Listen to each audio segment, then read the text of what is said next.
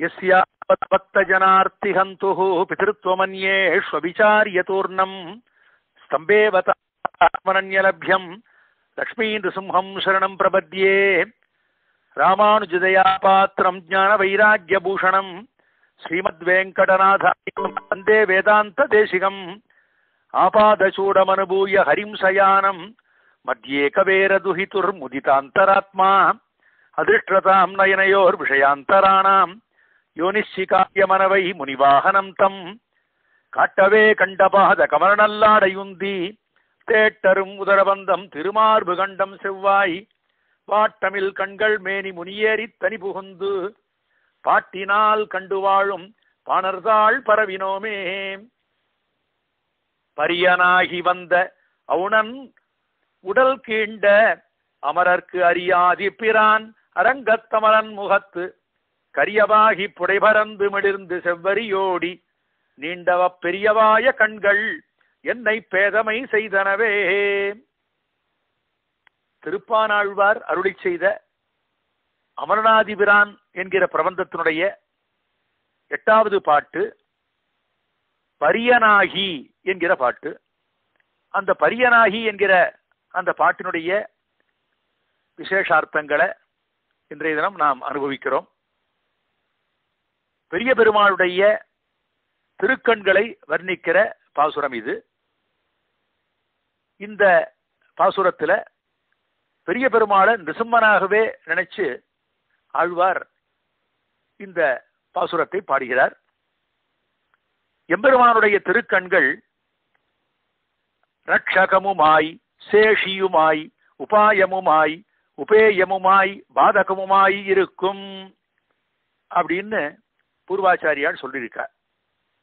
அதாவது எம்பெருமானுடைய அந்த கண்களுக்கு இருக்கக்கூடியதான அந்த தன்மை நான் இருக்கிறேன் உங்களை எல்லாம் ரட்சிப்பதற்கு அப்படின்றத அந்த கண்கள் காட்டி தரதான் தூயாய் சுடர்மாமதி போல் உயிர்க்கெல்லாம் தாயாய் அளிக்கின்ற தன் தாமரை கண்ணா ஆயா அலை நீர் உலகேழும் மூன்றுண்டவாயா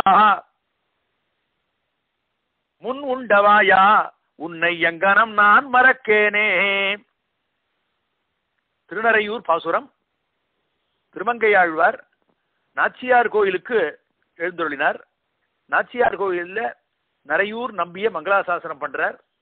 அந்த சமயத்துல இந்த நரையூர் நம்பி நம்மையெல்லாம் ரட்சிப்பவன் அல்லவா?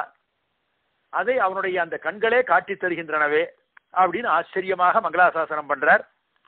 எம்பெருமானே நரையூர் நம்பியே பரிசுத்தமானவனே. குளிர்ந்த அந்த கிரணங்களையுடைய பூர்ண சந்திரன் போல சகல பிராணிகளுக்கும் தாயாய் நின்று கிருபை பண்ணி அருளுகிற அந்த குளிர்ந்த தாமரை கண்களை உடையவனே. கிருஷ்ணனாக அவதாரம் செஞ்சவனே.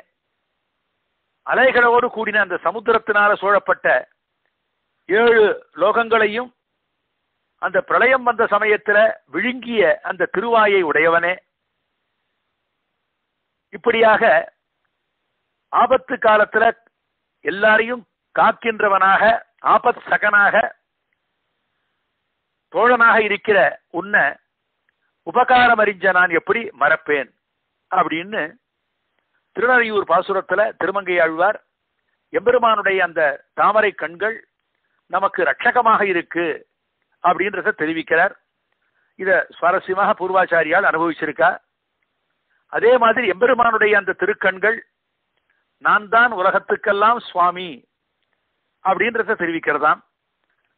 ஆக அந்த சேஷியாக இருக்கக்கூடிய அந்த தன்மை எம்பெருமானுடைய திருக்கண்களை திருக்கண்களுக்கு உண்டு.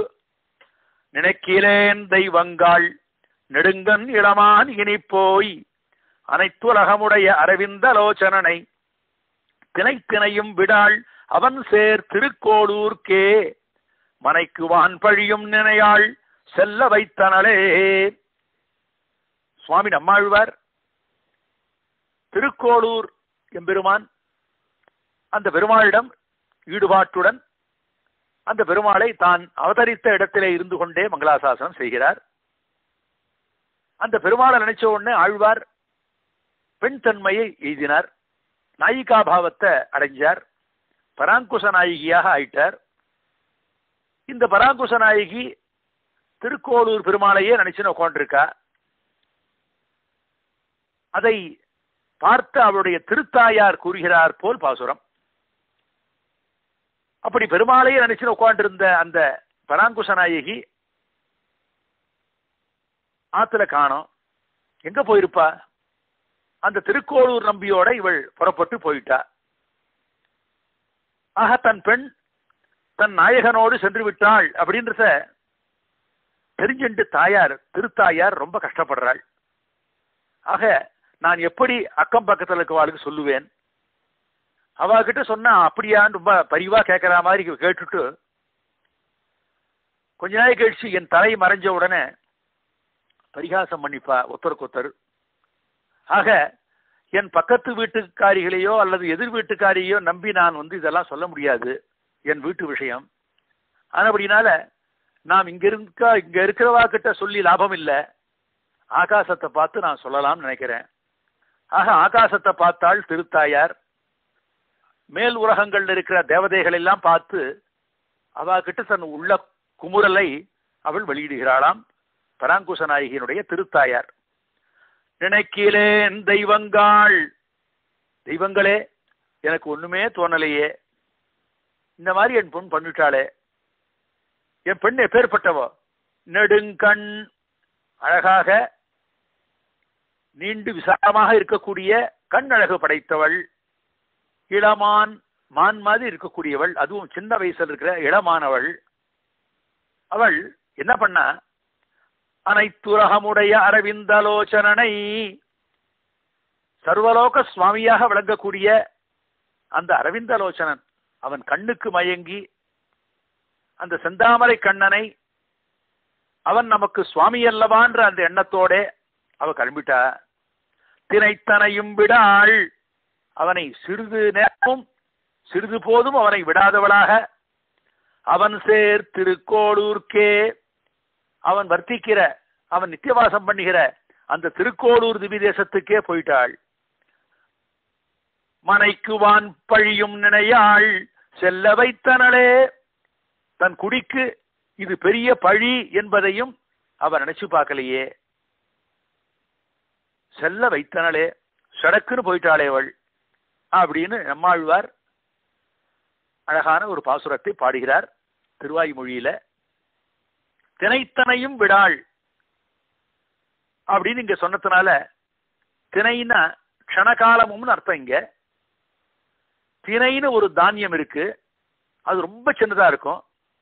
அந்த தானியம் எவ்வளவு சிறியதோ அவ்வளவு சிறு பொழுதும் அந்த எம்பெருமானை விட்டு பிரிய அவளுக்கு மனசு இல்லையாம். அதை சொல்லணும் ஆழ்வாருக்கு. அந்த பதத்தை அந்த சொல்லை கையாள்றார்.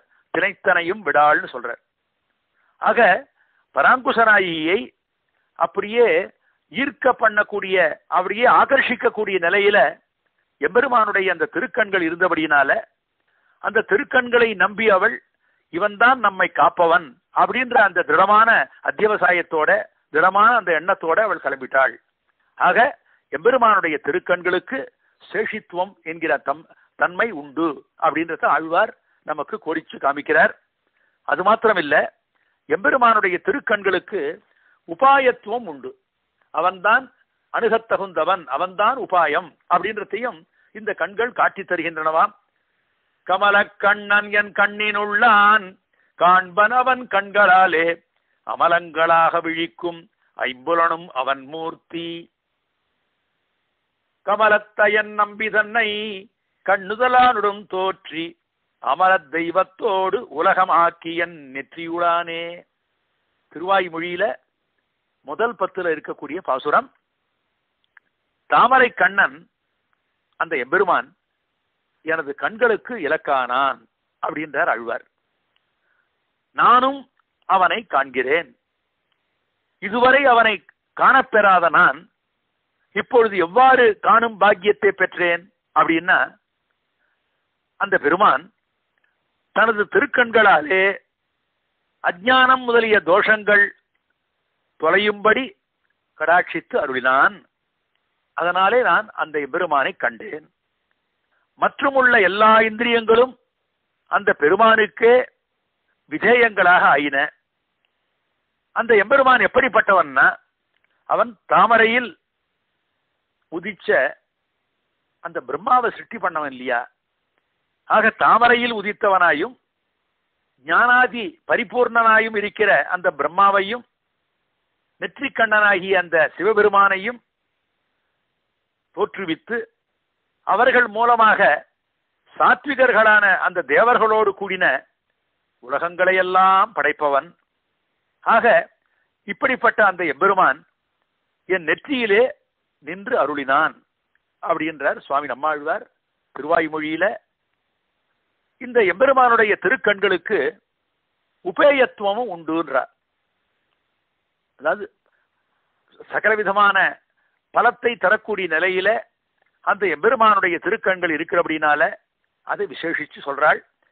செங்கனிவாயின் திறத்ததாயும் செஞ்சுடர் நீள் முடித்தாழ்ந்ததாயும் சங்கொடு சக்கரம் கண்டுகந்தும் தாமரை கண்களுக்கு அற்று தீர்ந்தும் திங்களும் நாளும் விழாவராத தன் திருப்பேரையில் வீத்திருந்த நங்கள் பிரானுக்கு என் நெஞ்சம் தோழி நானும் நிறையும் இழந்ததுவே.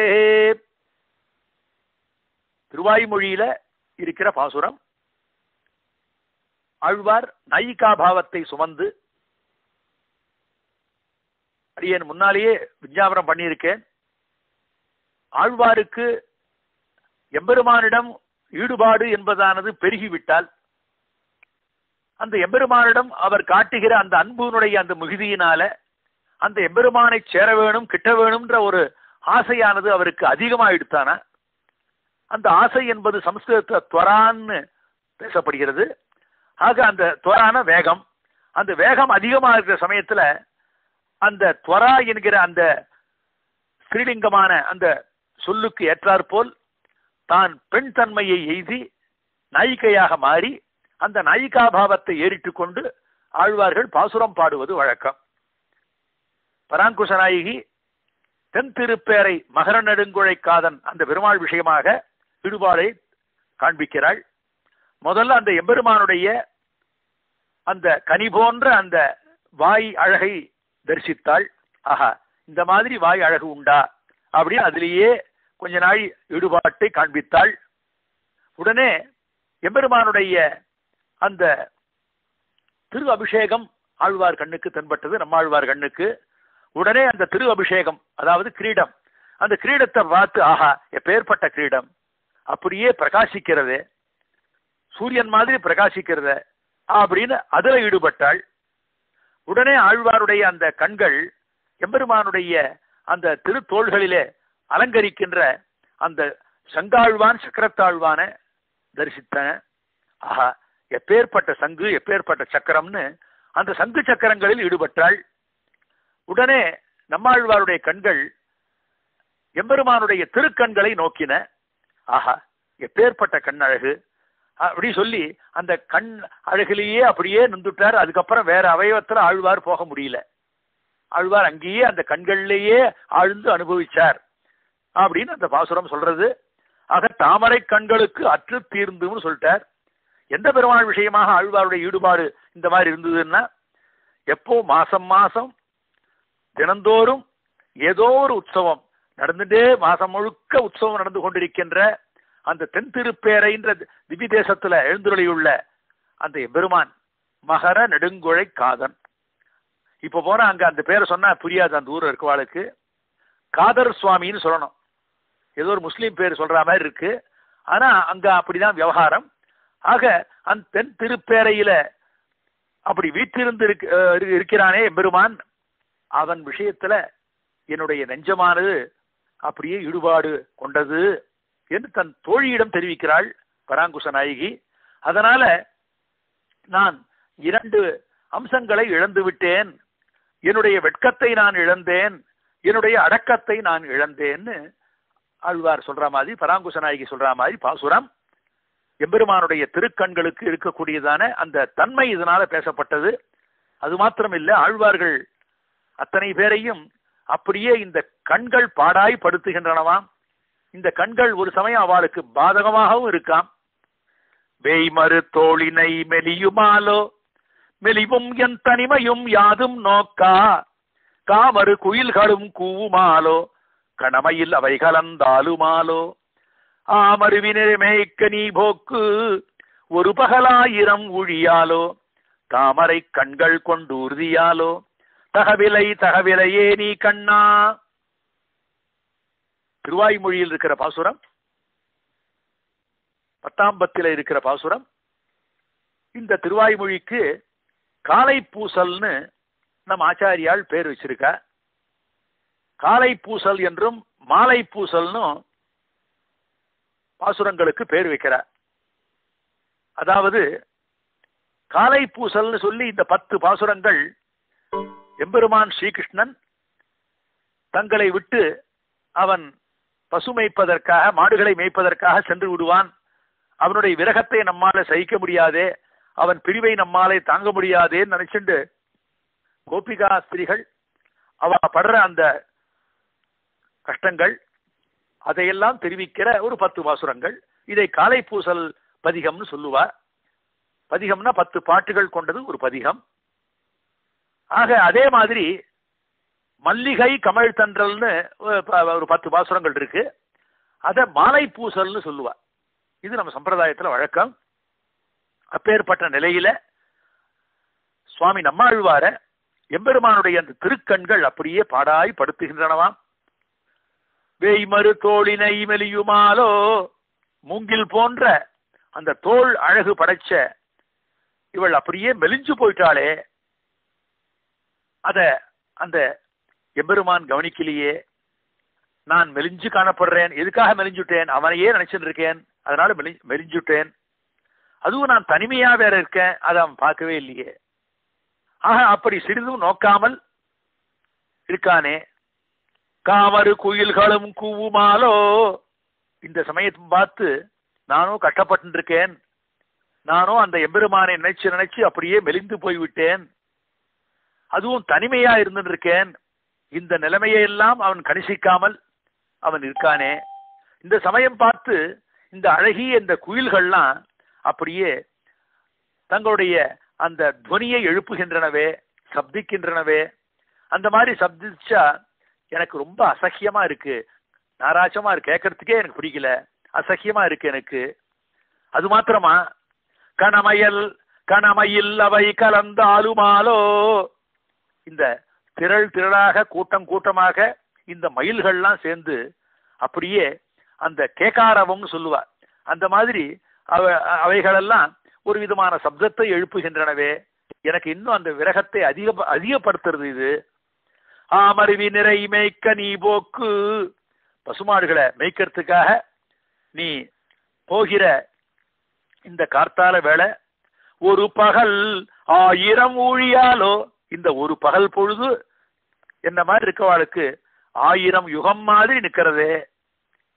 கண்ணா உன் தாமரை கண்களை கொண்டு இந்த மாதிரி நோவுபடுத்துகிறாயே. தாமரை கண்கள் கொண்டு உறுதியாலோ தகவிலை தகவிலையே நீ கண்ணா. ஆக யோசிச்சு பார்த்தா என்ன மாதிரி இருக்கிறவாளெல்லாம் இந்த மாதிரி நீ பாடாய் படுத்துறபடினால உன்னுடைய அந்த கண்களுக்கு கருணையே இல்லையா? ஆக உனக்கு கருணை இல்லையா கிருஷ்ணா? அப்படின்னு தன்னுடைய அபிப்பிராயத்தை அழகாக சுவாமி நம்மாழ்வார் வெளியிடுகிறார். ஆகவே எம்பெருமானுடைய திருக்கண்களுக்கு இருக்கக்கூடியதான தன்மை எப்பேற்பட்டதுன்றத நம் பூர்வாச்சாரியால் வர்ணிச்சது சொன்னேன். அதே மாதிரி ஆழ்வார்களைப் போலவே நம் ஆச்சாரியாலும் எம்பெருமானுடைய அந்த திருக்கண்களை வெகு அழகாக போற்றி பேசுகிறார்கள். அதீர்கம பிரேம துகம் க்ஷணோஜ்வலம் நச்சோரமந்த கரணஸ்ய பசியதாம் அனுப்ஜம் அப்ஜம் நு கதம் நிதர்சனம் வனாத்ரிநாதஸ்ய விஷாலயோர் திருஷோஹோ சுவாமி கூறத்தாழ்வான் திருமாலிருஞ்சோலை அழகர் விஷயமாக சாதிச்ச அழகான ஸ்லோகம் சுந்தரபாகுஸ்தவத்தில் இருக்கிற ஸ்லோகம். இந்த ஸ்லோகத்தினாலே திருமாலிருஞ்சோலை அழகருடைய அந்த திருக்கண்களை வெகு அழகாக அனுபவிக்கிறார் சுவாமி கூறத்தாழ்வான். செந்தாமரை போன்ற திருக்கண்கள்னு சொல்லலாமா அப்படின்னு பார்த்தாராம் கூறத்தாழ்வான். அழகருடைய இந்த திருக்கண்களுக்கும் தாமரை மலர்களுக்கும் ஒருபடியாலும் ஒத்துமை காணப்படவில்லையே அப்படின்றார் கூறத்தாழ்வான் நீண்ட அப்பெரியவாய கண்கள்னு திருப்பானாழ்வாரும் இளங்கொழிசேர் அரவிந்தம் போன்று நீண்ட கண்ணானைன்னு திருமங்கையாழ்வாரும் பேசும்படியாக எம்பெருமான் திருக்கண்கள் நீண்டு இருப்பது போலவே தாமரை நீண்டு இருக்கலையே ஆகவே அந்த நீட்சிக்கு தாமரை மலர் ஒப்பாக ஆகாது. சரி எம்பெருமான் திருக்கண்கள் அன்பை வெளியிடும் வண்ணமாக இருக்கின்றன. அவ்வாறாக நாம் பார்க்கிற தாமரை பூ இருக்கே அந்த தாமரை பூ என்பதானது அன்பை வெளியிடாதே. எம்பெரு அப்- அதாவது பெருமாளை சேவிக்கச்ச எப்பொழுதும் நாள் திங்கள் ஆண்டூழி ஊழிதொரும்னு அப்பொழுதைக்கு அப்பொழுது என் ஆறா அமுதமே அப்படின்னு ஆழ்வார் சொல்ற மாதிரி காணும் போதெல்லாம் நவம் நவம் அதாவது புதுசு புதுசாக விளங்குகிற அந்த எம்பெருமானுடைய திருக்கண்களுக்கு அதி சொல்ப காலமே அதாவது சிறிது காலமே விகா இந்த விகாசத்தோட மலர்ச்சியோட மலர்ந்து காணப்படுகிற இந்த தாமரை எப்படி ஒப்பாக ஆகும்? எம்பெருமான் திருக்கண்கள் கண்டவர்தம் மனம் வழங்கும்னு ஆழ்வார் சொன்ன மாதிரி கண்டவருடைய மனதையெல்லாம் கொள்ளை கொள்ளும்படி விளங்குகின்றன. இந்த தாமரை மலருக்கு அவ்வாறு இல்லையே அப்படின்னு சொல்லி எம்பெருமான் திருக்கண்களை கூறத்தாழ்வான் அழகாக வர்ணிக்கிறார். ஆக எம்பெருமான் தாமரை கண்ணன் எப்படி சொல்ல முடியும்? அந்த தாமரை எம்பெருமான் கண்களுக்கு இருக்கக்கூடியதான அந்த வைபவம் இந்த தாமரை மலர்களுக்கு இல்லையே அப்படின்னு அதை அது சொல்றதுல ஆழ்வாருடைய நோக்கம். அதே மாதிரி கூரத்தாழ்வான் அந்த மாதிரி சொன்ன மாதிரி கூரத்தாழ்வானுடைய திருக்குமாரர் ஸ்ரீ பராசர பட்டர் ஸ்ரீரங்கராஜ ஸ்தவத்திலே எம்பெருமானுடைய திருக்கண்களை ரொம்ப அழகாக அனுபவிக்கிறார். கருணாமிருத கூலமுத்வகைஷா பிரணமத் ஸ்வாகிதிகி பிரசன்ன சீதா மயிரங்க தனோபகர்ணிகாட்ஷ்ணோ சரிதோர்வீக்ஷண வீச்சி சந்ததி சியாத் ஸ்ரீரங்கராஜஸ்தவத்துல இருக்கிற ஸ்லோகம் இது. எம்பெருமான் திருக்கண்கள் இரண்டும் இரண்டு ஆறுகள் நிறவர் எப்பொழுதும் இவைகளில் அலை இருக்கும். ஆற்றின் இரு கரைகளையும் அணைத்து கொண்டு செல்லும். வந்தவர்களை நல்வரவு கூறி வரவேற்பன போல இந்த திருக்கண்கள் இருக்கின்றன. தெளிந்தும் குளிர்ந்தும் இருக்கின்றன. அப்படிப்பட்ட குளிர கடாட்சிக்கின்ற இந்த எம்பெருமானுடைய அந்த திருக்கண்கள் இருக்கே அந்த திருக்கண்கள் அந்த திருக்கண்கள் மூலமாக வருகிற அந்த கடாட்சம் அடியின் மீது எப்பொழுதும் வேணும்னு பராசர பட்டர் பிரார்த்திக்கிறார். பெரிய பெருமாளுடைய இரண்டு திருக்கண்களும் இரண்டு பெருக்காறுகளாம். அவற்றிலே இருந்து உண்டாகும் கடாட்ச பாதங்கள் அலைவரிசைகள். அவை அடியேன் மீது பாய வேண்டும் என்கிறார் ஸ்ரீ பராசர பட்டர். அந்த அலைவரிசை எப்படிப்பட்டதுன்னா திருவருளாகிய அமுத புனலை நிரம்ப கொண்டு இருக்கிறது. அடிபணிய வருபவர்களை வாருங்கள் வாருங்கள் என்று ஆதரிச்சு அழைக்கிறது. கலக்கமில்லாமல் தெளிந்து குளிர்ந்து காணப்படுகிறது. இது எப்படி இருக்குன்னா காசியில கங்கா நதியில் பல தீர்த்த கட்டங்கள் இருக்கின்றன. மணிகர்ணிகா கட்டுன்னு ஒரு இடத்துக்கு பேரு. அப்படியே இதற்கும் உபகர்ணிகான்னு பேரு. சொல்லலாம்னு இருக்கு. ஆக உபகர்ணிகா காட்னு சொல்லலாமான்னு இருக்கு எம்பெருமானுடைய கண்களை பார்த்தா. அந்த மாதிரி சுவாரஸ்யமாக ஸ்ரீ பராசர பட்டர் அனுபவிக்கிறார். அப்படிப்பட்ட திருக்கண்கள் படைத்தவன் சர்வேஸ்வரன் ஸ்ரீமன் நாராயணன். ஆக கூறத்தாழ்வானும் ஸ்ரீ பராசர பட்டரும் ரொம்ப அழகாக எம்பெருமானுடைய இந்த திருக்கண்களை வர்ணிக்கிறார். ஆக சர்வேஸ்வரனுடைய அந்த திருக்கண்கள் நதி போன்று இருக்கின்றன என்றார் பட்டர். சுவாமி தேசிகன் எம்பெருமானுடைய இந்த திருக்கண்களை திருப்பார்கடலுக்கு சமானமா இருக்குன்னு சொல்லிட்டார். ஆலட்சிய சத்துவம் அதிவேல தயோத்தரங்கம்.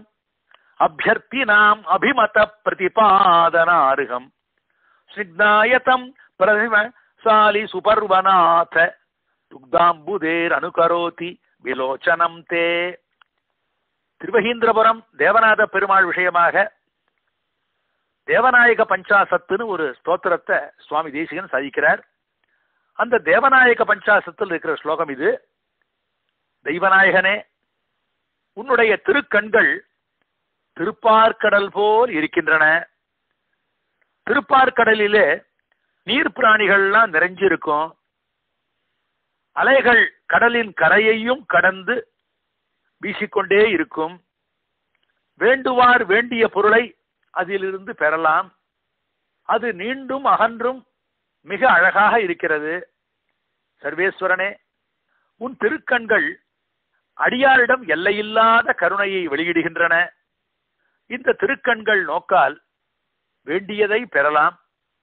இந்த திருக்கண்கள் பக்தர்களை அதாவது சேத்தனரை நட்புடன் நோக்கும் தன்மையோடு கூடியிருக்கு. நீண்டும் அகன்றும் இருக்கின்றன. ஆகவே சர்வேஸ்வரா உன்னுடைய திருக்கண்கள் திருப்பார்கடலை போல் இருக்கிறது என்கிறார் சுவாமி தேசிகன். அப்படிப்பட்ட திருக்கண்கள் எம்பெருமானுடைய திருக்கண்கள் அந்த திருக்கண்கள் அதே பேசுற மாதிரி இந்த இன்னிதனம் எந்த பாசுரத்தை நாம் அனுபவிக்கிறோமோ எட்டாம் பாசுரம் இந்த பாசுரத்துல பரியனாகி வந்தன்ற இந்த பாசுரத்துல அந்த எம்பெருமானுடைய அந்த கண்களே பேசுற மாதிரி அழகாக வியாக்கியானம் பண்றார். அழகிய மனவாள பெருமாள் நாயனார். ஆக அதை அழகா விவரிக்கிறார் அவர். ஆழ்வீர் திருப்பான ஆழ்வாரை பார்த்து அந்த கண்கள் சொல்றன சொல்கின்றன ஆழ்வீர் எம்பெருமானுடைய திருவாயின் அழகில ஈடுபட்டு உம்முடைய மனதை பறிகொடுத்து நிற்கிறீரே அப்படிப்பட்ட அழகு அந்த திருவாய்க்கு என்ன? அப்படி இருக்கு. செய்யவாயின்னு நீர் சொன்னார் அந்த கண்ணை பத்தி.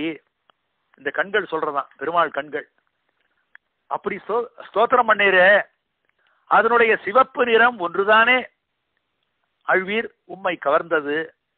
என்ன பாரும்? என்னிடத்தில் அந்த சிவப்பு நிறம் இருக்கிறது. சிவப்பு மட்டுமா இருக்கு? கருப்பும் வெளுப்புமாக பல நிறங்கள் இருக்கின்றன என் கண்கள்ல. இவை எல்லாமே ஒன்றோடொன்று சேர்ந்து எங்களுக்கு பரபாகத்துடன் மேட்சிங் அப்படின்னு சொல்ற மாதிரி அது மாதிரி மிகுந்த அழகை தருகின்றன. திருவாய்க்கு பெருமையாக அந்த எம்பெருமான் மித்திரபாவேன சம்பிராப்தம் நத்தியஜேயம் கதஞ்சன தோஷோ எத்யபி தஸ்ய சியாத் சதாமேததகரீதம்னு ராமாவதார காலத்தில் சக்கரவர்த்தி திருமகன் ராமபிரான் அவன் சொன்ன வார்த்தையை சொன்னது இந்த வாய்தானேன்னு சொல்லிக்கலாம். ஆனா ஒருவன் அதாவது ஒரு ஜீவன் எம்பெருமானை ஆசிரியிக்க வருகிறான் என்றால் யாரால் அந்த மாதிரி வரான் தெரியுமா? உலகில் எத்தனையோ ஜீவாத்மாக்கள் இருக்கிறார்கள். எல்லாருமே எம்பெருமானை ஆசிரியிக்க வரதில்ல ஒரு சிலர் எம்பெருமானை ஆசிரியிக்க வருகிறார்கள். அப்படின்னா அதுக்கு காரணம் என்ன?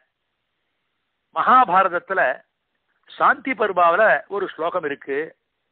ஜாயமானம் ஹி புருஷம் எம்பஸ்யேத் மதுசூதன சாத்விக சது விஜ்ஞேய சவை மோட்சார்த்த சிந்தகான்னு சொல்லப்பட்டிருக்கு. பிறக்கும் போதே அந்த மதுசூதன கடாட்சம் ஹயக்ரீவ கடாட்சம் தன் திருக்கண்களாலே எவனை கடாட்சிக்கிற அந்த கண்களால அந்த எபெருமான் ஹைகிரீவன் எவனை கடாட்சிக்கிறானோ அவன் ரஜோகுணம் தமோகுணம் இல்லாதவனாக சத்வகுணம் உள்ளவனாக ஆறான்னு சொல்லப்பட்டிருக்கு. அதனால மற்ற பலன்களை தரும் உபாயங்களை எண்ணாமல் மோட்ச பலனை தரக்கூடிய உபாயங்களையே அப்படிப்பட்டவன் எண்ணுவான். எல்லாருடைய முகத்திலும் கண்கள் இருக்கின்றன. அவற்றுக்கு இப்படிப்பட்ட ஒரு பெருமை இருக்கா? அது மட்டுமா? கிருஷ்ணாவதார காலத்துல ஆயுதம் எடுக்க மாட்டேன்னு சொன்ன கிருஷ்ணன் ஆயுதத்தை எடுத்தானே. அவன் வார்த்தை பொய் வார்த்தையாக ஆகிவிட்டதே என்று நீ என்ன வேண்டாம். பஞ்சகர்களுக்கு சொன்ன வார்த்தை அது.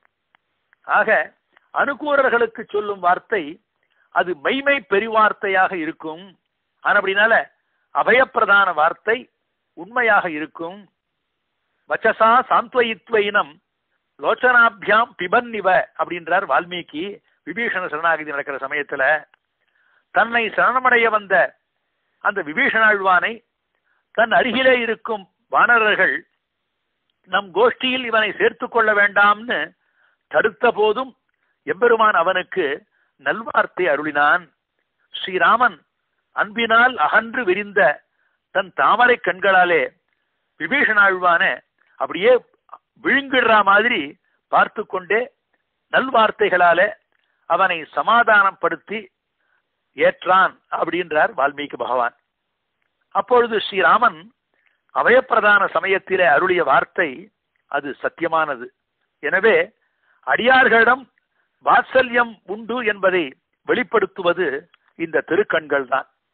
அது மட்டுமல்ல எம்பெருமானுடைய மேன்மைக்கு பிரகாசமாக இருப்பதும் அந்த எம்பெருமானுடைய திருக்கண்கள் தான்.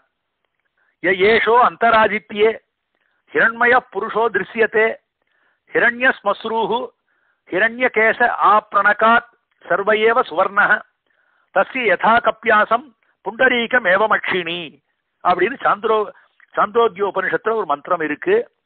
சூரியனுக்கு நடுவிலே தங்கம் போல் அழகிய உருவை உடைய எந்த இந்த பரமபுருஷன் காணப்படுகிறானோ அவன் தங்கம் போன்ற அழகான மீசையையும் கேசங்களையும் எல்லா அவயவங்களையும் உடையவன்.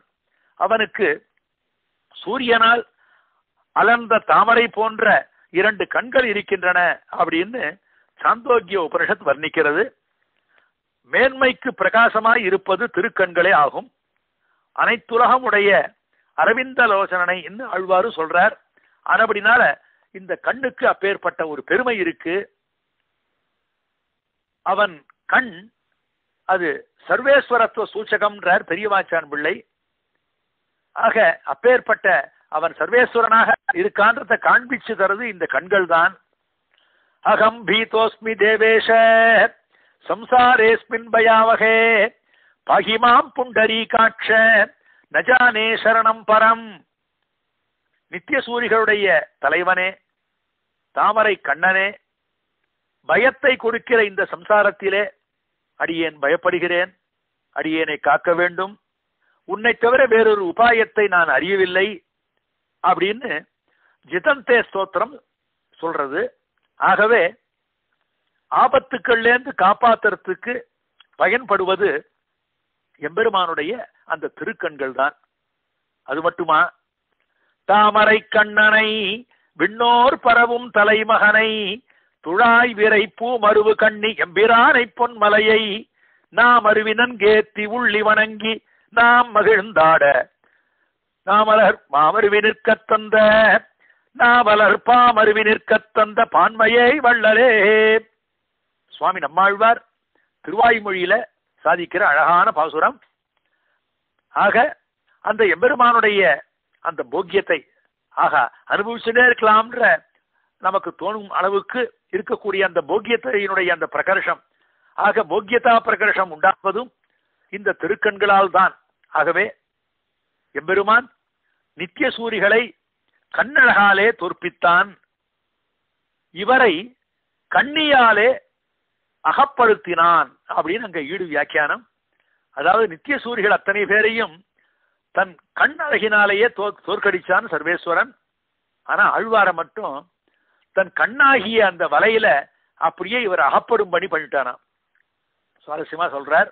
ஆக தண்ணீரை விட்டு பிரியாமல் பருத்த தண்டுடன் கூடி சூரியனால் அலர்த்தப்பட்ட தாமரை போன்ற எம்பெருமானவை எம்பெருமானுடைய அந்த திருக்கண்கள் இருக்கின்றனன்னு யதா கப்பியாசம்ன்ற அந்த ஸ்ருதி சொல்றது அந்த உபனிஷத் மந்திரம் சொல்றது யதா கப்பியாசம் புண்டரீகம் ஏவமக்ஷினின்னு சொல்றது. தமோ குணத்துடன் கூடிய சூர்பனகை புண்டரீக விசாலாட்ச அப்படின்னு சொல்லி ராமன் கிட்ட ஈடுபட்டாள் அவள் எப்பேற்பட்ட கண்ணழகு தாமரை மலர் போன்ற க விசாலமான கண்ணழகுன்னு அவள் சொல்லி ராமனிடம் ஈடுபட்டாள். மூக்கருபட்டு ரத்தம் சொட்ட சொட்ட ராவணன் கிட்ட போய் அவள் நிற்கிறாள். உனக்கு இந்த மாதிரி உன்னை செஞ்சது யார்? அப்படின்னு ராவணன் கேட்கிறான். உடனே சூர்பனகை தன்னை இந்த மாதிரி அந்த அண்ணன் நண்பிகள் ராமனும் லக்ஷ்மணனும் பண்ணான்னு அந்த ராமன் பண்ணாருன்னு சொல்லணும். ராமபிரானை அப்படி நினைச்சின்றாளாம். நினைச்ச உடனே அந்த கண் அழகு தான் அவளை பாடா படுத்துறதாம். உடனே சிம்ஹோரஸ்கம் மகாபாகும் பத்மபத்ர நிவேட்சணம் ஆஜானுபாகும் தீப்தாஸ்யம் அதீவ பிரிய தரிசனம் கஜவிக்ராந்த கமனம் ஜட்டாமண்டலதாரிணம் சுகுமாரம் மகாசத்வம் பார்த்திவ வியஞ்சனான்விதம் அப்படின்னு சொல்லி வெய்ய வந்த வாயால வாழ்த்த ஆரம்பிச்சுட்டாளாம் சூர்பனகை. இதை நம்ம பூர்வாச்சாரியால் திவ்ய பிரபந்த வியாக்கியானங்கள்ல இது அழகாக எடுத்து சொல்லியிருக்கா. ஆக அது மாத்திரமா? அந்த எம்பெருமானுடைய திருக்கண்கள் எல்லாரையும் பாடாய் படுத்துகின்றன. ஐந்திரம் சாந்திரம் காசகிருஷ்ணம் கௌமாரம் சாகடாயனம் சாரஸ்வதஞ்சாபிசலம் சாகலம் பாணினீயகம்னு ஒன்பது வியாக்கரணம் உண்டு. வியாக்கரண சாஸ்திரம் சம்ஸ்கிருத இலக்கணம் ஒன்பது வகையான இலக்கணம் உண்டு கிராமர். அந்த நவ வியாக்கரணங்களையும் நன்கு கற்று தேர்ந்தவர் ஆஞ்சநேய சுவாமி. ஆகவே நவவியாக்கரண பண்டிதனான அனுமனும் ராமபிரானே பத்தி சொல்ல ஆரம்பிக்குச்சு. அவர் நினைச்ச உடனேயே சீதா பிராட்டி எதிர ராமஹா கமலபத்ராட்சா சர்வசத்வ மனோகரஹா அப்படின்னு சொல்லி ராமன் எப்பேற்பட்ட கண்ணழக படைச்சவன் தாமரை கண்கள் போன்ற கண்கள் அவனுக்கு இருக்குன்னு சொல்லி எல்லாரையும் ஆகர்ஷிக்கக்கூடிய அளவுக்கு அவன் கண்கள் இருக்குன்னு சொல்லி அவர் ஸ்தோத்திரம் பண்றார் அனுமார். தாமரை கண்ணனாகிய அவனிட ராமனிடம் தன் ஈடுபாட்ட அந்த மாதிரி தெரிவிக்கிறார். எம்பெருமானுடைய ஒவ்வொரு அவதாரங்களிலும் அழகு குன்றாமல் தொடர்ந்து வருவது யாரால தெரியுமா? எங்களால தானே அப்படின்றதான் கண்கள். எம்பெருமான் மத்ஸ்யாவதாரம் எடுத்த அந்த சமயத்துல அந்த மத்ஸ்யமூர்த்தியை வர்ணிச்ச வியாசர் மத்ய புராணத்துல மத்ஸ்யஹா கமலலோச்சனஹா அப்படின்றார். தாமரை கண்ணன் அந்த மத்ஸ்ய பெருமாள் அப்படின்றார். சரி வராகாவதாரம் பெருமாள் எடுத்த சமயத்துல அதை வர்ணிச்ச வியாச மகர்ஷி மகாவராகா ஸ்புட பத்மலோச்சனஹா அப்படின்றார். ஆக தாமரை கண்ணன் தெரிவிக்கிறார். சரி ராமாவதாரம் பெருமாள் எடுத்த போது ராமோ ராஜீவலோச்சனஹா. தாமரை கண்ணன் ராமன் அப்படின்னார். சரி பெருமாள் கிருஷ்ணாவதாரம் செஞ்ச சமயத்துல கிருஷ்ணனை வர்ணிச்ச சமயத்துல கிருஷ்ணஹா கமலபத்ராட்சா அப்படின்லாம் சொல்லி மகர்ஷிகள் எம்பெருமான் திருக்கண்களை அழகாக வர்ணிச்சிருக்காள். திரௌபதியும் தனக்கு ஆபத்து நேர்ந்த போது எம்பெருமானுடைய மற்ற அவயவங்களை பற்றி குறிப்பிடாமல் அதாவது எம்பெருமான திருவடியே தியானம் பண்ணிக்கலாமல் அவள்? அந்த மாதிரிலாம் சொல்லாமல் எம்பெருமான நினைச்ச உடனேயே அந்த தாமரை கண்கள் தான் அவளை ஆகர்ஷிச்சுதான் உடனே தாமரை கண்களை பற்றியே குறிப்பிடுகிறாள் திரௌபதி. சங்க சக்கர கதாபானே துவாரகா நிலையாச்சுத கோவிந்த புண்டரி காட்ச ரட்சமாம் சரணாகதாம் அப்படின்னு சொல்றாள். ஆக நாயிகா பாவத்திலே சுவாமி நம்மாழ்வார் தென் திருப்பேரை திவிதேசத்து எம்பெருமான் மகர நெடுங்குழை காதன் திருமேனி அழகிலே அந்த திவ்யமான அவயவங்களின் அழகிலே இந்த திவ்யாயுதங்களின் அழகியிலே ஈடுபட்டு கடைசியில அந்த திருக்கண்களுடைய அழகிலே ஈடுபட்டு அப்படியே இருந்துட்டார். இதை முன்னாடியே அடியன் விண்ணப்பித்தேன்.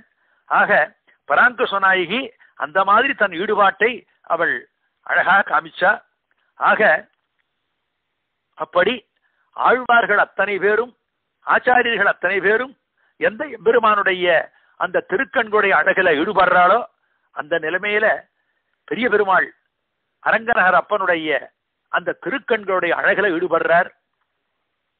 திருப்பானாழ்வார் இன்னைய தினம் இந்த பாசுரத்துல பெரிய பெருமாளை ரங்கநாத பெருமாளை அவர் வந்து நிசும்மனாகவே பார்க்கிறார்.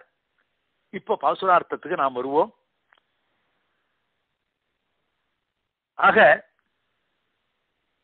தமோ ஹிரண்ய ரூபேண பரிணாமம் உபாகதம்னு விஷ்ணு புராணத்தில் சொன்ன மாதிரி தமோ குணமே ஹிரண்ய கசிபுவாக வடிவெடுத்தது என்கிறபடியே அப்படி இருக்கிற அந்த ஹிரண்யனை அங்கு அப்பொழுதே அவன் வீயத் தோன்றிய என் சிங்கப்பிரான் பெருமையை ஆராயும் சீர்மைத்தேன்னு நம்மாழ்வார் அருளை செய்தபடி நிசம்ம ரூபியாய் வந்து தன் திருக்கையிலே இருக்கிற அந்த உகிர் அதாவது நகம் அந்த விரல்ல இருக்கிற நகம் அந்த நகத்தாலே கிழித்து போட்டான் அப்படின்றபடினால அப்படி கிழித்து போட்டா மாதிரி ஞான கையாலே என்னுடைய அவித்யை கிழித்து போகட்டான் அப்படின்னு இந்த பாட்டில் திருப்பானாழ்வார் அழகாக தெரிவிக்கிறார். பாசுரார்த்தத்துக்கு வருவோம். பரியனாகி அப்படின்றார் முதல்ல. நிசுமனை வர்ணிக்கிறார் முதல்ல. மிகவும் பருத்த வடிவை உடையவனாய் கொண்டு. நிசமன் அப்ப அந்த பருத்த வடிவை கொண்டு இருவ- வடிவோடு கூடியவனாய் இருந்து கொண்டு அப்படின்றார். பகவத் குணத்தை அனுசந்தித்து அதனாலேயே எப்ப பார்த்தாலும் பகவானையே நினைச்சென்றிருந்து அப்படியே உடம்பு அப்படியே நைந்து போகாமல் எம்பெருமானுடைய அந்த அந்த மேலாம் தன்மையை நினைச்சு பார்த்து அவன் சர்வசேஷி அவனுக்கு நாம் எல்லோரும் தாசர்கள்ன்ற அந்த சேஷத்துவத்தை அறிந்து அதனால மெலிஞ்சு போகாமல் சர்வேஸ்வரனை ஆசைப்பட்டு அந்த தளர்ந்த உடம்பாய் அப்படி ஒசிஞ்சு போகாமல் பரியனாகி. ஆக நிசும்மத்துக்கும் அப்படியே அவனை வந்து அவனுக்கு சமமா நிற்கணும் நாம் அப்படின்ற நிலைமையில அவன் மிகவும் பருத்த வடிவை கொண்டவனாக விளங்கினானா? ஹிரண்யன். ஊட்டியிட்டு வளர்த்த பன்றி போலேன்னு இங்க வியாக்கியானம். அப்படி நல்ல நிறைய தீனி போட்டு வளர்த்த ஒரு நல்ல முசு நல்ல ஒரு பன்னி மாதிரி உடம்ப நல்ல பருமனா வச்சிருக்கானாம் அப்படிப்பட்ட நிலையில பரியனாகி. அது மாத்திரம் இல்ல ஆறா அமுதே அடியேன் உடலம் என்பால் அன்பாயே.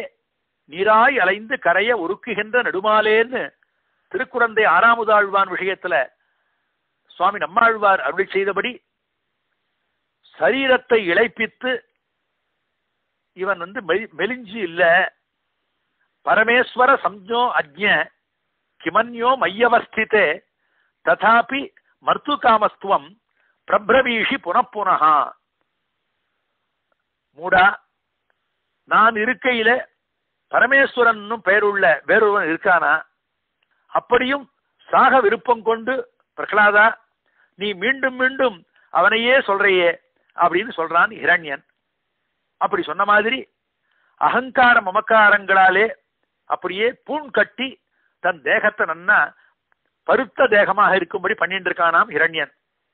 ஏவ முக்தா அஸ்வபாக்கேன பலவான் அமர்ஷவசமாபன்னோ. நச்ச கிஞ்சித் தமப்ரவீத் கைசிக புராணத்தில் இருக்கிற ஸ்லோகம் இது. நம்பாடுவானாலே இப்படி சொல்லப்பட்ட பருமனான அந்த பிரம்மரக்ஷஸ் கோபம் கொண்டவனாய் அவரிடம் வார்த்தை ஒன்னும் சொல்லல அப்படின்னு ஸ்லோகத்துக்கு அர்த்தம். ஆக அந்த பிரம்மரக்ஷஸ பத்தி சொல்லச்ச அது ரொம்ப பருத்து இருந்ததுன்னு சொன்ன மாதிரி இவனும் பருக்க பண்ணின சரீரத்தோட இருந்தானாம் இரண்யன் ராஜாக்களுக்கு சிலர் நன்னா அவனுக்கு நல்ல சத்தான ஆகாரத்தை கொடுத்து வளர்க்கிற மாதிரி அதாவது ராஜாக்களுடைய பாதுகாப்புக்காக ஒரு சில காவல் பன்னிகளை வளர்ப்பாளாம் பிராணிகளை வளர்ப்பாளாம். அதுக்கு நிறைய ஆகாரங்கள் கொடுத்து வளர்க்கிற மாதிரி அந்த நிசம்மனுக்கு அவருடைய அந்த திருநகங்களுக்கு இறை போடும்படியாக தேவர்கள் வரங்களாலே ஊட்டியிட்டு வளர்த்து வச்சார்கள். ஆக மேல இத்- இதால வரக்கூடிய அனர்த்தம் அறியாமல் வரம் கொடுத்தும் அவர்கள் பருக்க வளர்த்தார்கள் அவன இரண்யன ஆக அந்த மாதிரி அவன் பருமனா இருந்ததும் எம்பெருமான் அவன் சந்தோஷப்படுவதற்கு அது உறுப்பாக ஆயிடுத்து. அப்படின்னு சுவாரஸ்யமாக நம் பூர்வாச்சாரியால் வர்ணிக்கிறாள். பரியனாகி வந்த அப்படி உடம்பு பருத்த உடம்போடு கூடியவனாக அப்படி வந்தானாம் ஐயோ வந்துட்டானே. நம்ம பெருமாளுக்கு என்ன ஆகுமோ நம்ம நிசும்மனுக்கு என்ன ஆகுமோன்னு இவர் வயிறு பிடிக்கிறார். இவர் வைத்து பிடிச்சா ஐயோ நம்ம பெருமாளுக்கு என்ன ஆயிடுமோன்னு. இப்பொழுது தாம் வயிறு பிடிக்கிறார். ஆக இன்னும் அந்த இரண்யன் வந்துட்டு இருக்கா மாதிரியே அந்த அவதாரம் நடந்து அந்த இரண்யவதம் நடந்து எப்போ ஆயிடுத்து? எத்தனையோ யுகம் தாண்டிடுத்து. இருந்தாலும் திருப்பானாழ்வார் இப்போ வரா மாதிரி நினைக்கிறார் நினைச்சிருந்து அவர் ஆக இன்னும் வருகிறானாக காணும் இவருக்கு தோற்றுகிறது வியாக்கியானம்.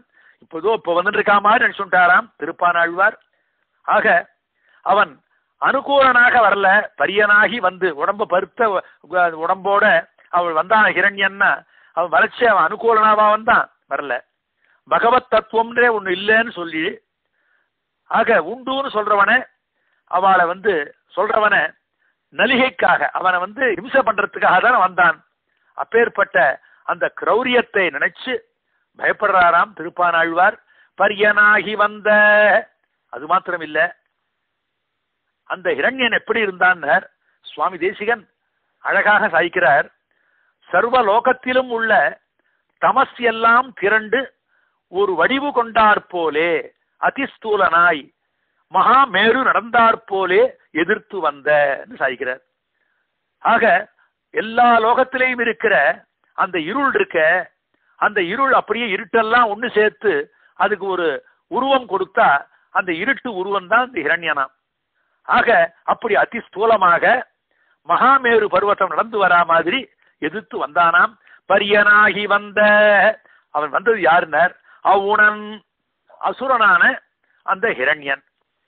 ஆக இப்படியாக பகவத் பாகவத விஷயம் என்றால் அவன் அப்படியே சிலிர்த்து எழுந்து கோபப்படுறதுக்கெல்லாம் காரணம் என்னன்னா ஆசூரியும் யோனிம் அப்படின்னு கீதையில சொன்ன மாதிரி அவன் அசுர அந்த கூட்டத்தை சேர்ந்தவன் ஆனபடினால அவன் அந்த புத்தி மாந்தியத்தோட மூடனாகவே அவன் இருக்கான். அப்பேற்பட்ட அந்த அசுரன் இரண்யகசிபு அவனனுடல் கீண்ட அந்த ஹிரண்யகசிபுவினுடைய உடலை கீண்டான் சர்வேஸ்வரன் சும்மன். நரசிம்ஹத்தினுடைய மொரார்ந்த முகமும் மொரார்ந்த முகமும் நகமடிக்கொண்ட உதடும் செருத்து நோக்கின நோக்கும் குத்த முறுக்கின கையும் கண்டபோதே பொசுக்கின பன்றி போலே மங்கு நாரை கிழிக்குமா போலே கிழித்தபடி அப்படின்னு வியாக்கியானம். ஆக நிசும்மன் அவருடைய அந்த திருமுக மண்டலத்தை வர்ணிக்கிறார். ஆக அப்படியே அந்த கோபத்தோடு கூடின அந்த திருமுகம் அப்படியே நாக்க அப்படியே உள்ளுக்குள்ள மடிச்சுண்டு அந்த கோபத்தை அப்படியே காமிக்கிற அந்த உதடுகள் அப்படியே கோபமா பார்க்கிற அந்த விழி ஆக அப்படியே அவனை முறுக்கி அப்படியே அவனை சாகடிக்கணும்ன்ற நிலைமையில அந்த திருக்கைகள் அப்படி இருந்துண்டு அந்த நிசும்ம வடிவை தாங்கி அப்படியே இந்த இரண்யன மங்கு நாரை கிழிக்கிற மாதிரி கிழிச்சுட்டானாம் சர்வேஸ்வரன். மங்கு நார்னா தாழை நாரை கிழிக்கிற மாதிரின்றார் நாயனார். சுவாமி தேசிகன் அழகாக சாய்க்கிறார். திரண்ட தோல் இரணியன் சினம் கொள் ஆக ஆகம் ஒன்றையும் ஒரு வாழை மடலை கிழிக்குமா போலே இரண்டு கூறி செய்தவனாய் ஆக ஒரு வாழை மடலை கிழிக்கிற மாதிரி கிழிச்சு போட்டார் பெருமாள். அப்படின்னு சுவாமி தேசிகன் அழகா சாய்க்கிறார். உடல் கீண்ட அவனுடைய அந்த உடலை அந்த மாதிரி கீண்டான் சர்வேஸ்வரன். தன்னதான ஆத்ம வஸ்துவுக்கு அழிவு வராமல் அந்த மாதிரி அந்த காரியத்தை பண்ணாராம்.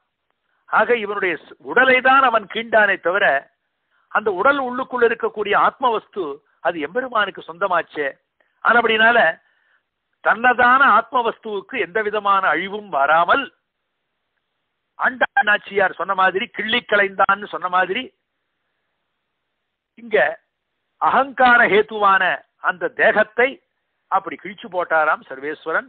நிசுமனாக அவதாரம் பண்ணி அப்பேற்பட்ட உடல் கீண்ட அவன் யாருன்னா? அமரர்க்கு அரிய அமரர்கள் தேவதைகள்.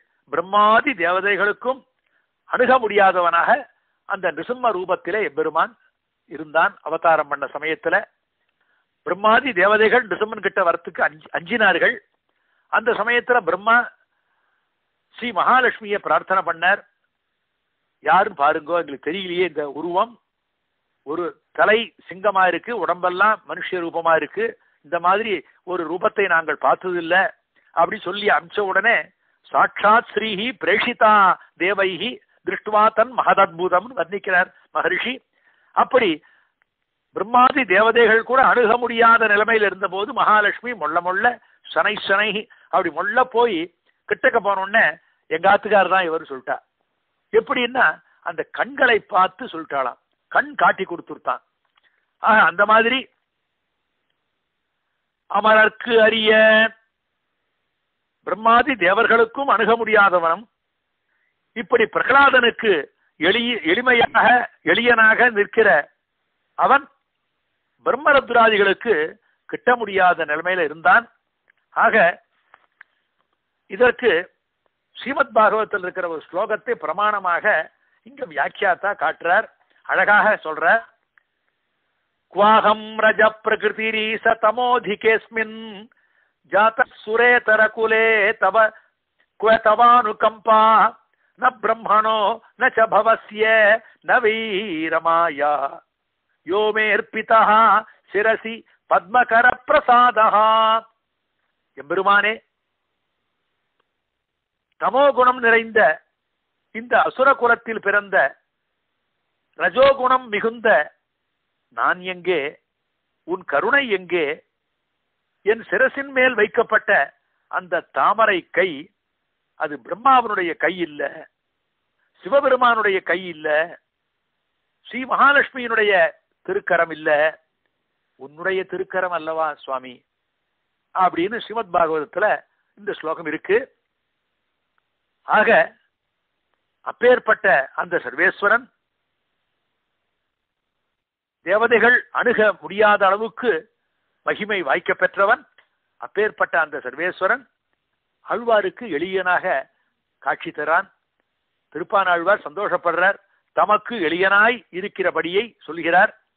அதாவது தம்முடைய அந்த தாழ்மையை பாராதல் பாராதையே தம்மையே விஷயமாக ஆக்கி தன்னுடைய அந்த துஷ்கர்மாக்கள் ஏதாவது தப்பு தெரியாத பண்ணியிருந்தா அதை எல்லாத்தையுமே சவாசனமாக போக்கி அதாவது ஒன்றுக்கும் கொஞ்சம் கூட அவர்கிட்ட அணுகாதவாறு அதை எல்லாத்தையும் போக்கிட்டு தம்மை முழுக்க அனுபவிக்குமாறு அந்த பெரிய பெருமாள் ரங்கநாதன் பண்ணிட்டார்ன்றத நினைக்கிறார். திருப்பானாழ்வார் சந்தோஷப்படுறார். அவன் எப்பேற்பட்டவன் அந்த பெரிய பெருமாள் அப்படின்னா ஆதீன்றார் காரணபூதன் ஜெகத்காரணபூதன்.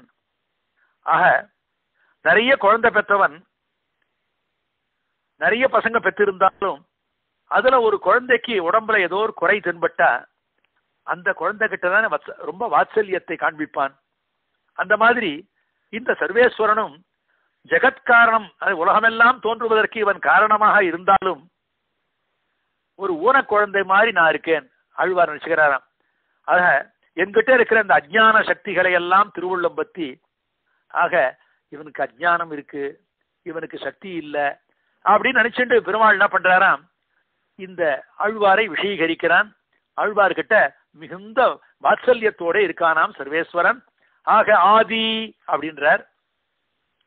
ஆக ஆதினா முன்னாடியே வந்து தான் முற்கோலி உபகரிக்கின்றான். வேக வேகமா வந்து ஆழ்வா ஆழ்வாருக்கு இவன் உபகாரம் பண்ணக்கூடிய அளவுக்கு இருக்கிறானாம். ஆதி பிரான். பிரகலாத ஆழ்வானுக்கு எளியனான நிலையும் பிரம்மாதிகளுக்கு ரொம்ப அரியனாக இருந்த நிலையும் இது ரெண்டையும் நினைச்சு பார்த்தார் திருப்பான் அழ்வார் ஆனா அதே பெருமான் தன் விஷயத்துல அவன் உபகாரகனாக இருக்கானே அதை நினைச்சு பார்த்து ஆதி திரான் அப்படின்னு சொல்றாராம். பிரகலாதனுடைய அந்த விரோதியை வெகு வேகமாக முன்னாடியே வந்து அவன் போக்கின அந்த உபகாரத்தை நினைச்சு பார்க்கிறாராம். எப்பேற்பட்ட உபகாரம்? அப்படி உபகாரம் பண்ணவன் பிரான் அல்லவா? அப்படின்றாராம். ஆதி பிரான். பிரகலாதன் உலகமெல்லாம் தோன்றுவதற்கு ஸ்ரீமன் நாராயணன் தான் காரணம். சர்வ காரணம் அவன்தான் சொன்னான். அவன் தகப்பன் இரண்யன் அதை க- கேட்டு சகிக்காமல் இந்த தூண்ல இருக்கானாம் அவன் அப்படின்னு கேட்டானாம். உன்னுடைய அந்த காரணபூதன் இந்த தூண்ல இருக்கானான் தூணை தட்டி கேட்டானாம். உடனே பிரகலாதாழ்வான் சர்வாந்தராத்மாவாக அவன் இருப்பவன் எல்லா இடத்திலும் இருக்கான். தொய்யஸ்தி மையஸ்திச்சான்னு சொன்னானவன் ஆக இங்கேயும் இருக்கான் அப்படி அந்த தூணை பார்த்து சொன்ன உடனே அங்கப்பொழுதே அவன் வியத் தோன்றிய என் சிங்கப்பிரான் பெருமை ஆராயும் சீர்மைத்தே நம்மாழ்வார் அந்த மாதிரி அருளி செய்தபடி அவன் தட்டின அந்த தூணிலே வந்து நிருசிம்ம ரூபத்தோட எம்பெருமான் அவதாரம் பண்ணான். அவ்வாறு தோன்றி அவன் தட்டின அந்த கையை பிடிச்சு பொன்பெயரோன் வாய் தகர்த்து மார்விடம்தான் ஆழ்வார் சொன்ன மாதிரி அவனை அப்படியே அந்த கதிப்பில அப்படியே அடிச்சு அவன் மார்பை கிழிச்சு பிரகடாதாழ்வானுடைய அந்த பிரதிஜா வாக்கியத்தை அதாவது சத்தியம் விதாத்தும் நிஜ பிருத்திய பாஷித்தம்னு சுவாமி தேசிகன் சொன்ன மாதிரி அந்த பிரதிஜா சத்தியமா இருக்கு நான் சொல்ற வார்த்தை பெருமாள் இருக்கார் பொய்யஸ்தி மைய உங்ககிட்டயும் இருக்கார் எங்கிட்டயும் இருக்காருன்னு நான் சொன்ன அந்த பிரதிஜா வாக்கியத்தை அதை வந்து சத்தியமாக ஆக்கணும் மெய்யாக ஆக்கணும்ன்றதுக்காக ஆக தன்னுடைய அந்த காரணத்துவத்தையும் ஈஸ்வரத்தையும் நிலை நிறுத்தின அந்த உபகார விஷயத்தை எல்லாம் மனசுல வச்சுண்டு ஆதிப்பிரான்னு சாய்க்கிறார் அழ்வார். அது மாத்திரம் இல்ல அவன் யார்? அப்படின்னா அரங்கத்தமலன். கோயில்னு நம் சம்பிரதாயத்துல ஒரு திவிதேசத்தை சொல்றான்னா அது ஸ்ரீரங்கம் தான் ஆக கோயிலிலே எழுந்தருள் இருக்கிற பரம பாவனனுமாகிய அந்த எபெருமானுடைய அப்படின்னு சொல்ற ஆக அரங்கத்து அமலன். அவன் யாருன்னா ரங்கநா ஸ்ரீரங்க ஸ்ரீரங்க கஷேத்திரத்துல இருக்கிறவன் ரங்கநாதன். இதனால இவன் இப்ப இனிமே நிருசிம்மனா இல்ல. அந்த ரங்கநாத பெருமாளே நிருசிம்மனாக ஒரு கால விசேஷத்தில் அவதாரம் பண்ணார். ஆகவே ஒரு காலத்திலே ஒரு தூணின் நடுவே வந்து தோன்றி பிரகலாத ஆழ்வான் ஒருவனுக்கு வந்த அந்த விரோதியை போக்கின அவன்தானே இன்னைய தினம் இந்த ஸ்ரீரங்க கஷேத்திரத்துல அப்படி அழகாக சயனித்து கொண்டு எல்லா காலத்திலும் எல்லாருடைய விரோதிகளையும் போக்குவதற்காக அதற்கு தோதாக அணித்தாக அங்க ஒரு தூண்லேருந்து அவன் ஹிரண்யன ஹிரண்யனை சம்ஹாரம் பண்றதுக்காக நிருசிம்மன் அவதாரம் பண்ணான். இங்க அரங்கநகர் அப்பன் இரண்டு தூணுக்கும் நடுவே கிடைக்கிற அந்த கிடையாக அதாவது ரெண்டு தூண் மாதிரி இங்க உபய காவேரி நடுவுல எம்பெருமான் அ- அழகாக சயனிச்சுன்னு இருக்கான் அப்படின்னு வியாக்கியானம் பண்ணாள். சிட்டனே செழீர் திருவரங்கத்தாய் ஆழ்வார். அந்த திருவரங்கம் எம்பெருமானே ஸ்தோத்திரம் பண்ற நிலையில அவன் அந்த மாதிரி அந்த திவிதேசத்துல ஸ்ரீரங்கத்துல நித்தியவாசம் பண்றான். ஏதோ ஒரு சமயத்துல தோன்றி உடனே போயிடுறது இல்லாமல் அதாவது ராமாவதாரம் கிருஷ்ணாவதாரம்னா அந்த அவதாரம் ஆன உடனே பெருமாள் பழையபடி தன்னுடைய தன்னடி சோதிக்கு எழுந்துள்ளிட்டார் ஆக அவதாரம் போல் தீர்த்தம் பிரசாதித்து போகாமல் அவர் வந்து எப்பவுமே நித்தியவாசம் பண்ணக்கூடிய அளவுக்கு தன்னுடைய மனசுத்தியோட எம்பெருமான் ரங்கநாதனாக பள்ளி கொண்டிருக்கிற காரணத்தினால அமலன் இங்க சொ- சொல்றார் திருப்பானாழ்வார். அவனுடைய முகத்து அவனுடைய திருமுக மண்டலம் எப்பேற்பட்டது? சத்ய பசியத கிருஷ்ணஸ்ய முகம் அத்தியருணேட்சணம் அந்த கோபிகைகள்லாம் அந்த கிருஷ்ணனை எப்படி அனுபவிச்சாலோ அதே அனுபவம் நகரத்துக்கு கிருஷ்ணன் வந்தவுடனே அந்த பிருந்தாவன அந்த பிருந்தாவனத்தை விட்டுட்டு மதுரை நகரத்துக்கு வந்தவுடனே மதுராபட்டணத்துல இருக்கிற நாகரிகமான பெண்கள் ஆகா எப்பேற்பட்ட அழகு எப்பேற்பட்ட கண்ணழகு அப்படின்னு எம்பெருமானுடைய அந்த கண்ணழகை அவர்கள் வாயார வாழ்த்தி பேசின அந்த விஷ்ணு புராண ஸ்லோகத்தை இங்க சொல்லலாம். அது மாத்திரம் இல்ல உன்முகம் மாய மந்திரம் தான்கொலோன்னு நாச்சியார் ஆண்டாள் நாச்சியார் திருமொழியில அருளி செஞ்சபடி எம்பெருமானுடைய திருக்கண்கள் இருக்கு. அத்தி அருணேக்ஷணம் அப்படின்ற அந்த விஷ்ணு புராண ஸ்லோகத்துல சந்திர மண்டலத்திலே இரண்டு தாமரை பூத்தார் போலேயும் ஒரு தாமரையிலே இரண்டு தாமரை பூத்தார் போலவும் இருக்கிற அந்த திருக்கண்கள். அது எப்படி இருக்காம்?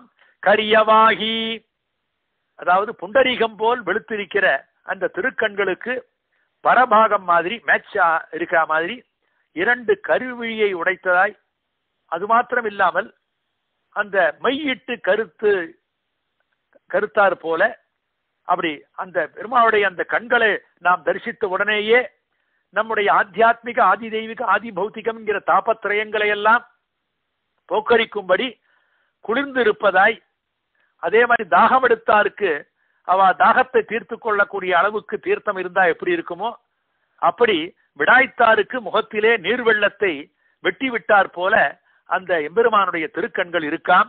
புடை பறந்து அந்த திருக்கண்கள் இன்னும் எப்படி இருக்குன்னா ரொம்ப விசாலமா இருக்காம். விசாலங்களாயினர். என்ன? பக்கங்கள் எல்லாம் பரவி இருக்கின்றனவாம் இந்த திருக்கண்கள். அதாவது சமுத்திரத்தையே ஒரு குளமாக மாற்றிட்டா எப்படி இருக்குமோ அந்த மாதிரி இந்த பெரிய பெருமாளுடைய திருக்கண்கள் இருக்கின்றனவாம்.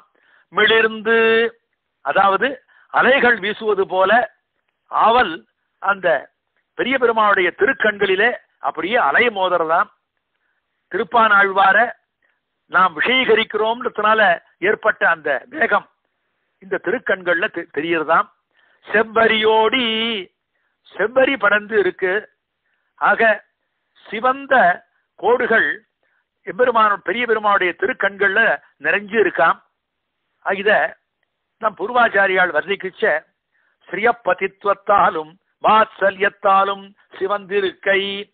இவன் ஸ்ரீயப்பதி லக்ஷ்மியினுடைய நாயகன் லக்ஷ்மிநாதன். அதே மாதிரி பக்தர்கள் விஷயத்துல வாத்சல்யத்தோடு கூடினவன். அதன் ஆனபடினால இவன் வாத்சல்யத்தினால இருக்கிறபடினால கண்கள் சிவந்திருக்குன்னு சொன்னான்.